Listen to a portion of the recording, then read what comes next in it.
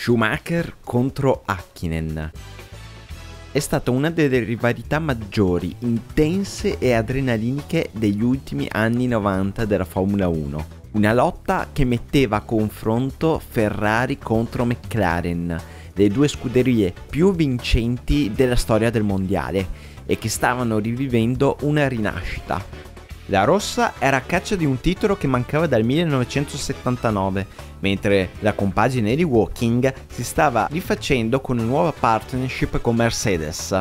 Due campioni, due talenti completamente diversi fra di loro, ma con un obiettivo in comune, vincere. Al via della stagione 1998, Schumacher si presentava con due titoli alle proprie spalle, guadagnati con la Benetton tra il 1994 e il 1995, e si era messo sulle proprie spalle tutta la responsabilità di riportare in alto la Ferrari. Al contrario, Hakkinen aveva vinto la sua prima gara nel pazzo finale di Jerez della Frontera del 1997, dove proprio Schumacher speronò senza successo la Williams di Jacques Villeneuve. Tra quel 1998 e il 2001 ne abbiamo visti di duelli, probabilmente la cui punta di diamante venne raggiunta al Gran Premio del Belgio del 2000. Al 41 giro di 44 Schumacher si ritrova di nuovo Hakkinen alle proprie spalle, minaccioso e pronto a sorpassarlo per guadagnarsi la testa della corsa.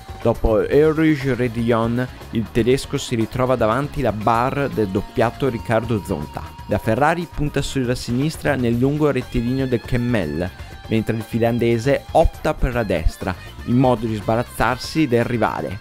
Per il pilota della McLaren sarà la mossa decisiva per vincere la gara, oltre a rendere indelebile questo sorpasso nella mente degli appassionati. Alla fine anno sarà poi Schumacher a trionfare in campionato, mentre Hakkinen rassegnerà le proprie dimissioni dal circus iridato l'anno dopo.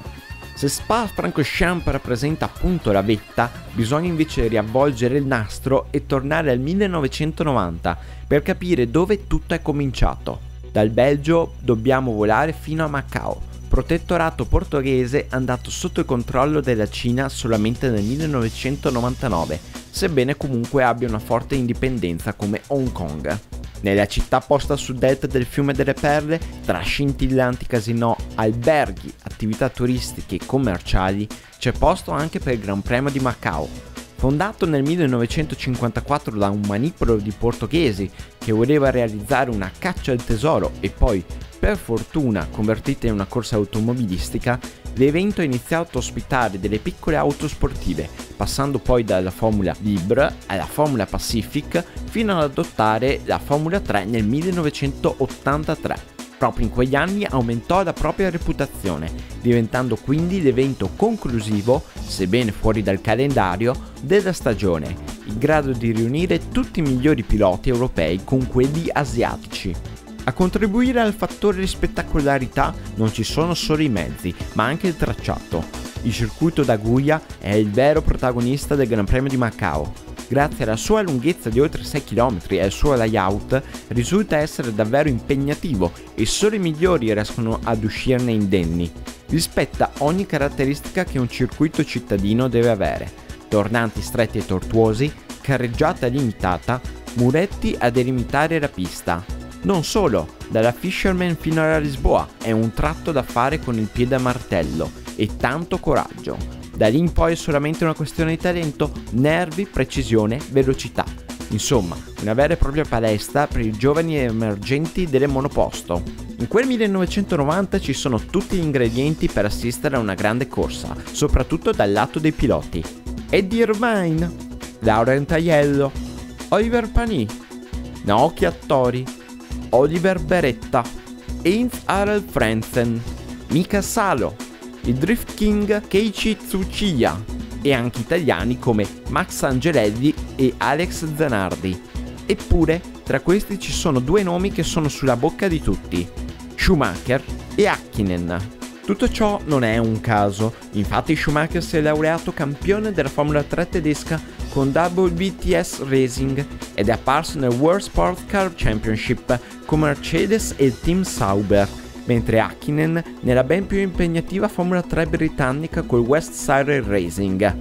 A Macao era giunta l'ora di capire chi dei due fosse il più forte, praticamente ormai con un piede in Formula 1. Tra l'altro, Schumacher aveva un conto in sospesa con la vittoria, avendo perso in modo sfortunato l'edizione dell'anno precedente. I due piloti si erano comunque già scontrati in occasione dell'ultima tappa della Formula 3 tedesca ad Hockenheim.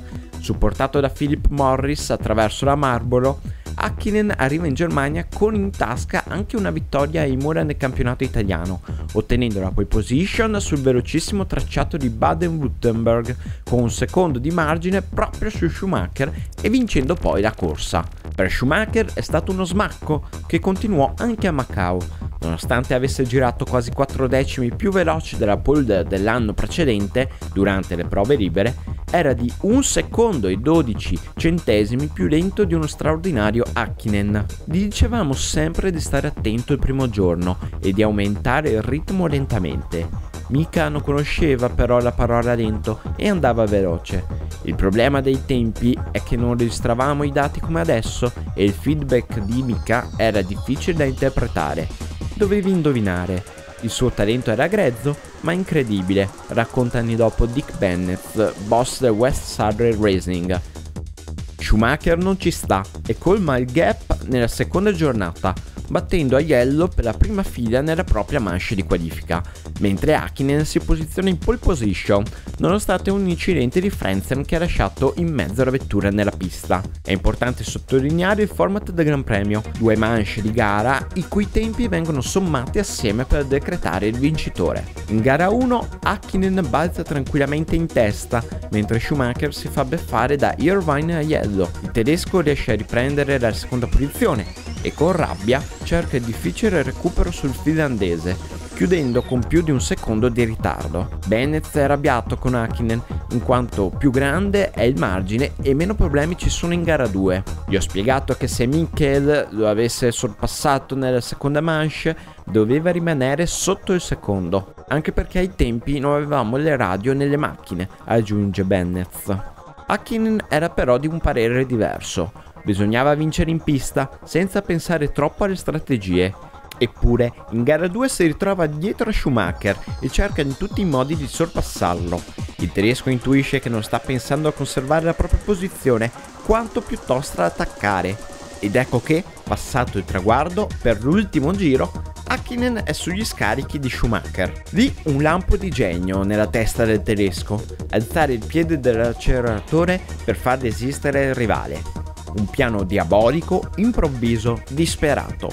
Schumacher tiene gli occhi sullo specchietto retrovisore e osserva le mosse di Hakkinen. Questo vira a sinistra e Schumacher copia la mossa. Le due vetture si toccano. Hakkinen picchia contro il guardrail esterno e termina lì la propria corsa, mentre Schumacher continua senza l'ala posteriore.